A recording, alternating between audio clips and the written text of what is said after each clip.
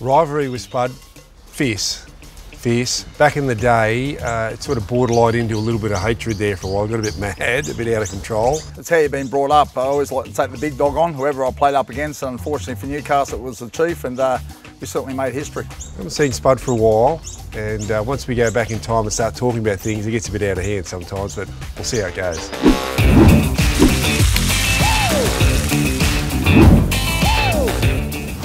I'm Chris Danks from Sporting News Australia, and with thanks to Barbeques Galore, we're uniting the best of sports around the flame. Today, Paul Harragon, Mark Carroll. Hey Chris, how you going, mate? Nice to see you. Chris, Big boy. Be gentle. How's, See you, how's things? good to see you. That's good. You're looking good. Looking good. Oh, looking pretty good. And let's kick it off, Chief. Yep. For you, when did the rivalry start?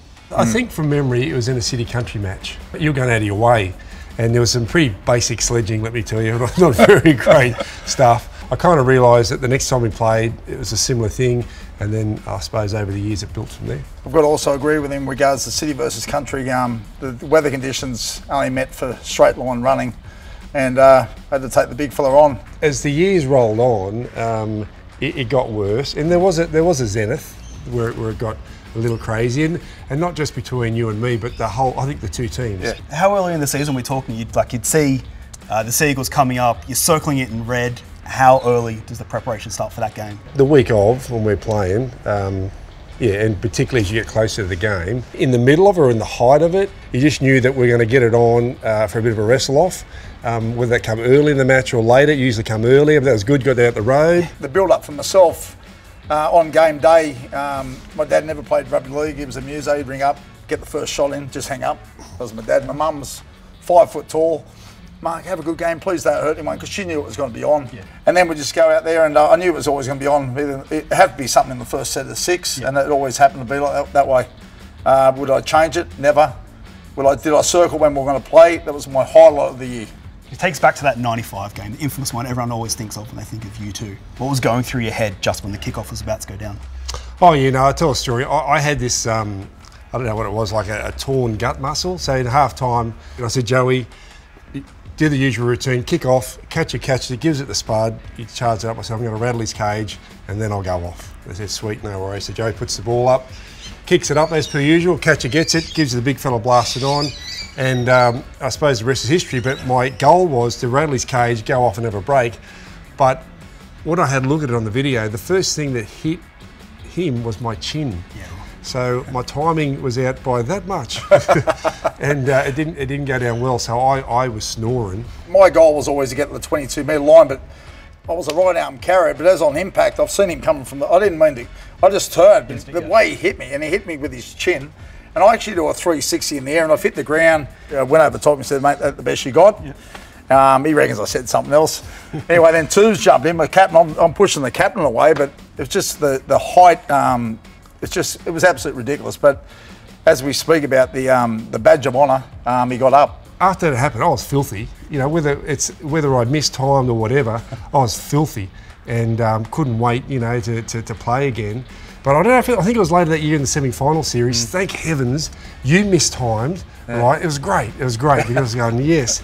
I'm taking the ball up. The big fella comes in, hits me straight in the hip with his melon, Yep. and then he, he, he staggers back, hits the ground, and then he, he, because he's you know he's so built or hardwired that way, he gets back up as soon as he can. Takes about two steps forward and dead set. He falls. His head falls into the turf, and then the third time, there's three divots. There was eight sandboards that had run on to fill the divots up. I was just going, yes, how good's that?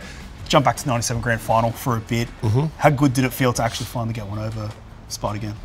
It felt pretty good. Um, I mean, we haven't, as I said, I think it's about 11 games in a row that, that defeated us. Those guys were so sure they were going to win. I remember during the week, one of the boys, I don't know if it was Hopper or someone, was going to donate their ring to someone else who didn't play, and you know, it was a foregone conclusion.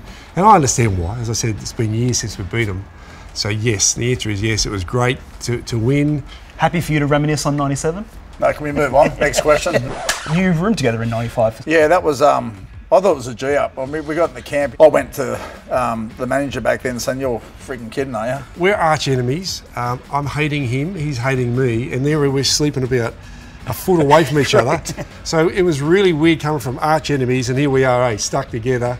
And um, unfortunately, it didn't work. We got pumped three We got nil. We got pumped deluxe. Has it helped you guys kind of become mates afterwards now that you, you've had to room with each other, you've known? No, it took a while still after that. I Yeah. think I think we, we, we had s- still a lot of we had a lot of fighting after that. How many times we got off the ground? I don't know how we got up, but it's just in, in, in itself to get up, get up. Don't let your mum and dad down. Let, don't let your, yeah, your family down. Get off the ground. I just think um, I, was, I used to ring him up to make sure he was okay, and he's done the same thing to me. You earn respect, Yeah, and uh, you shake someone's hand. You don't offer it too often unless they've earned it. So, I think we earned it, big fella. I think we did. Gripey. Yeah. Right, time to bring the heat. How's the Ziggy go, big fella? Good. Mate, On she's the best. Holds its heat really well. Nice. What do you guys reckon? Do you consider yourself barbecue barons? I can't cook. I uh, I like eating, Yeah. uh, but cook, nah, no good. What about yourself, mate? You know, I, I'm a terror on the barbecue. Yeah, and the wife loves it because that's half the work gone outside. Yeah. So Yeah. yeah, I like doing uh, seafood on this. I do a lot of salmon. It's great. That's a cracking barbecue.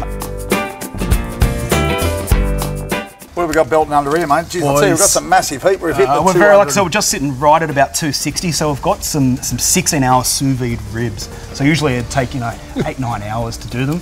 Essentially, all you have to do is head up sous vide, chuck them on 260, about five seven minutes Oh, either side. Done. Let's give them a quick check now. Oh, Sensational. look at This- that! Mate, that looks grouse. If you could dead set make that into a cologne. so what about do you guys entertain a fair bit at home? You know, we do. We we um, we barbecue a lot, and particularly, you know, it's spring and summertime. Know, it's no better way to wrap up a day Yeah. than to get the, the, the barbie cracking. And you know, with my family, as everyone's getting older and they're living out of home, um, I've only got to mention the word, guys, got a barbie on, and mate, they all come back. So it's great. Good thing about this one, uh, first starts first time every time. I've always had that problem. Like you know, it doesn't start, gas is going, Yep. stress level. This one, beautiful, three burner. So that's a Ziggy guarantee. First time, every time. That's the motto. Enough small talk, big fella. Let's Beautiful. get into it. Time to plate up. Let's do Let's it. do it. Oh, It's good to get everyone back together, having a bit of a chat. Any uh, any final words? Well, I just think it's wonderful in sport and in life. It's not where you start that counts, it's where you finish. And we finished up being great mates. we've made a legacy, and I'm just proud to spare the moment with him, and uh, we'll always be mates from now on. All right, uh, barbecuing better with bargies galore. Let's let's see how well I've done. What do you reckon, boys? I reckon you've yeah, done outstanding, all mate. right. I'll tell you, I can't Anyway, wait for the cheers. bin. I wouldn't want to be that first rib. It won't last long with you, big fella. Graphy.